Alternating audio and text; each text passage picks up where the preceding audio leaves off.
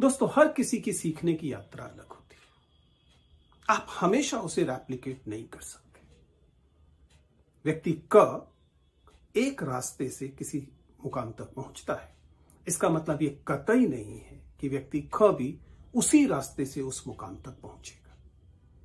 मैं आज के वीडियो में जो आपको एक छोटी सी टिप दे सकता हूँ, वह है रोल मॉडल्स चुनिए।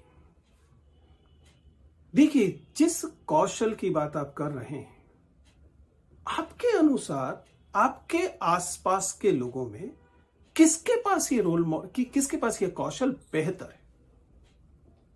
किसी एक व्यक्ति को तमाम चीज़ों के लिए रोल मॉडल मत बनाए